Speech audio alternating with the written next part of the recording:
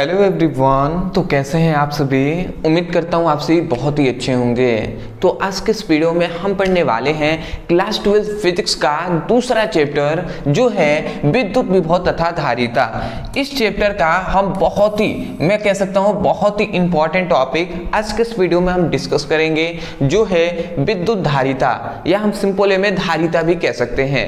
तो धारिता किसे कहते हैं? इसका परिभाषा क्या होता है? इसका फॉर्मूला क्या होता है मात्रक क्या होता है? राशि क्या होता है? इसका बीमीय सूत्र क्या होता है? विद्युत धारिता का अर्थ क्या होता है मतलब मीनिंग क्या होता है, पूरा हम डिटेल में इस टॉपिक पर एक्सप्लेन करने वाले हैं। मैं आपको पहले ही कह दे रहा हूँ। देखिए सिंपल वे में कहूँ तो मैं हमेशा चाहता हूँ कि आप समझ कर याद करें। तो हम आपको समझा कर इसी वीडियो में याद कराने का प्रयास करेंगे।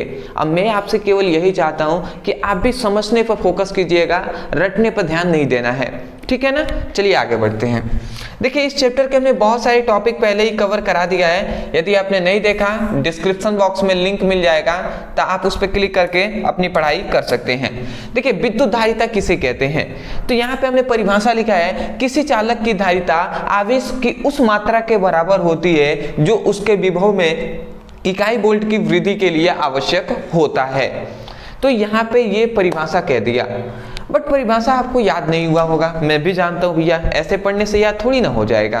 तो हम याद आपको कराएँगे। वो कैसे तो देखिए, हम जानते हैं कि विद्युत जो धारिता होती है। अगर इसके गणितीय रूप में हम चले तो इसका विद्युत धारिता का फॉर्मूला होता है C is equal to Q by V होता है। ये क्या होता है? विद्युत धारिता का, ये क्या होता है? फॉर्मूला होता है। जहाँ पर ये क्यू क्या है भैया? तो क्यू है आवेश। भी क्या है? भी है विभव। ठीक है? और ये सी क्या है? धारिता है। सी क्या है? धारिता है। तो C इसकल टू क्यू बाई भी है, जहाँ क्यू आवेश है भी है विभव। तो यहाँ पे ये कहता है, यहाँ पे यदि ये जो V है, V मतलब विभव है तो यदि V के मान को हम एक ले लेते हैं। एक का मतलब इकाई। ठीक है, एक का मतलब क्या है? इकाई है। तो यदि हम भी के मान को अगर हम एक ले लेते हैं तो उस समय पे यदि इसका मान एक हो जाएगा तो उस समय पर जो सी होगा, वो भी क्यू के बराबर हो जाएगा।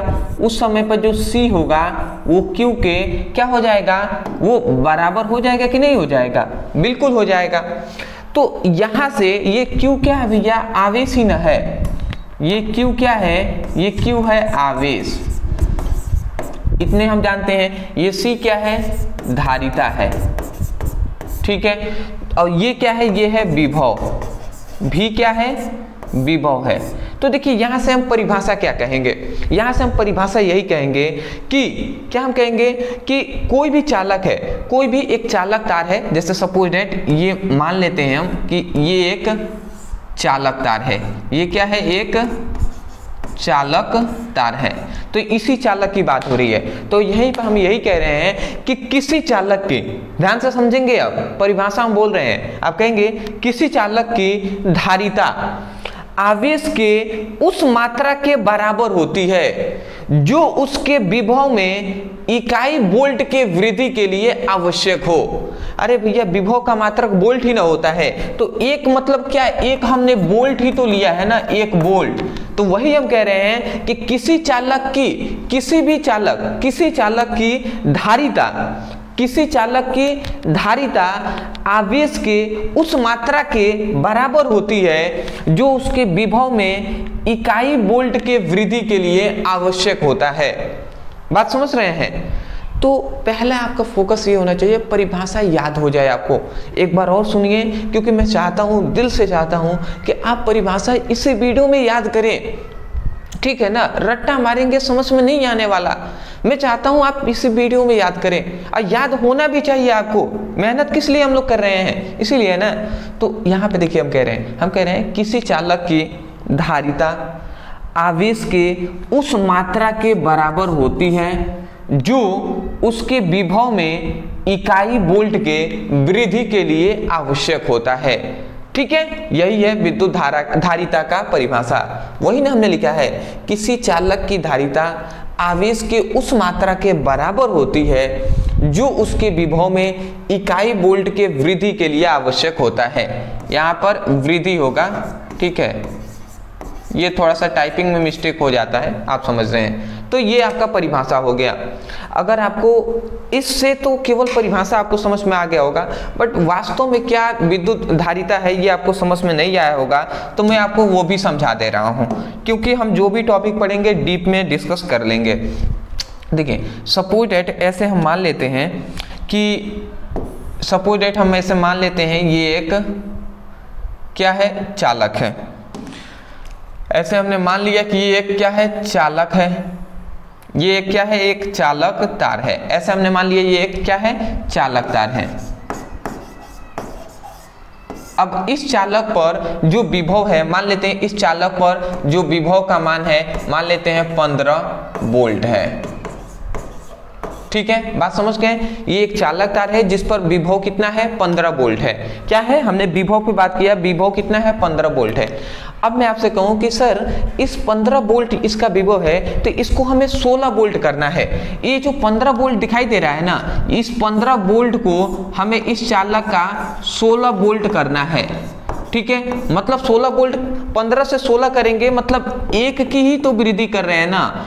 एक बोल्ट की, एक बोल्ट का ही हम क्या कर रहे हैं? एक बोल्ट का ही वृद्धि कर रहे हैं, पंद्रह से सोलह कर रहे हैं। तो देखिए, हम यही कह रहे हैं कि इस चालक की जो विभव है, उसमें हम एक बोल्ट की वृद्धि कर रहे हैं, पंद्रह से सोलह कर रहे हैं। तो पंद्रह से सोलह करने के लिए हमें इस चालक पर जितना आवेश की मात्रा की आवश्यकता होगी, जितना हम आवेश इसको देंगे, वही आवेश, वही उसी आवेश को ही हम धारिता कह रहे हैं।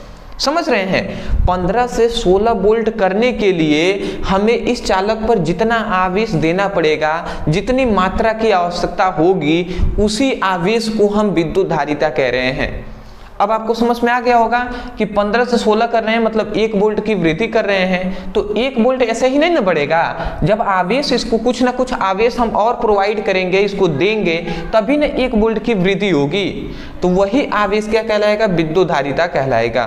तो वही हम कह रहे हैं कि किसी चालक की, हम क्या कहते हैं? किसी चालक की धारिता। आवेश के उस मात्रा के बराबर होता है, जो उसके विभव में इकाई वोल्ट के वृद्धि के लिए आवश्यक होता है। तो मैं आप आशा करता हूँ कि आपको आसानी तरीके से समझ में आ गया होगा। परिभाषा आपने समझ लिया? देखिए, एक और चीज़ मैं शुरू में ही बताना चाहता था बट मैंने मिस्टेक से भूल गया हूँ। देखिए, क्या चीज़? देखिए विद्युत धारिता का जो अर्थ होता है, यदि हम इसके अर्थ पे बात करें तो इसका अर्थ याद रखेंगे आप। इसका अर्थ होता है आवेश को धारण करने की क्षमता।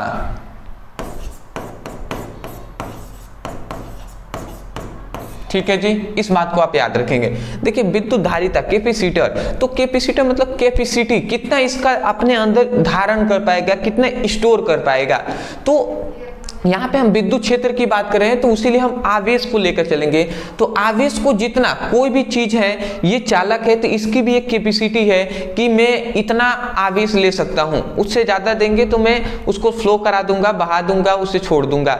जैसे मान लेते हैं एक फाइव लीटर का कंटेनर है, मान लेते हैं पाँच लीटर का एक बर्तन है तो उसमें आपने पाँच लीटर पानी डाला तो पाँच लीटर तक तो वो अपने अंदर रखेगा, उससे अधिक आपने दिया तो वो उसको निकाल देगा।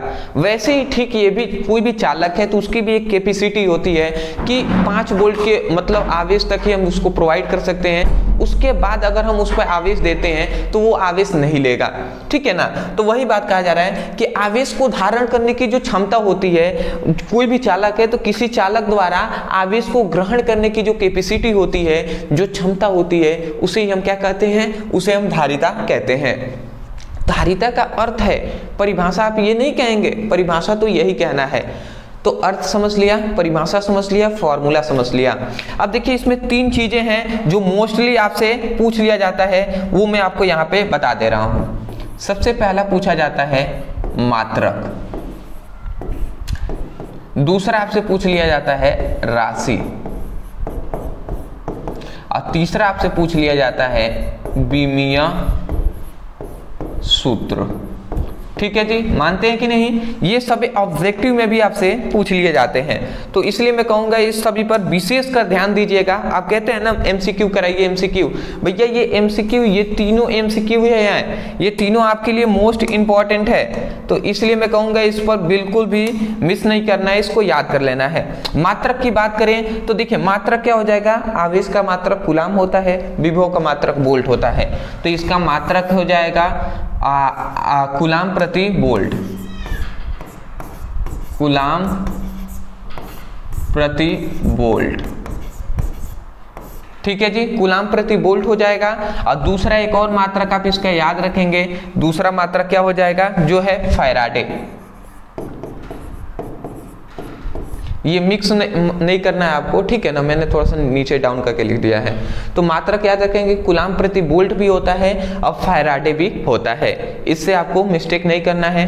देखिए ऑब्जेक्टिव में घुमा देता है। कभी कह देगा कि विद्युत धारिता का मात्रक है। आ, आपने याद कर लिया है फायराडे आपको ऑप्शन में फैराडे ना देकर गुलाम प्रति बोल्ट दे देगा।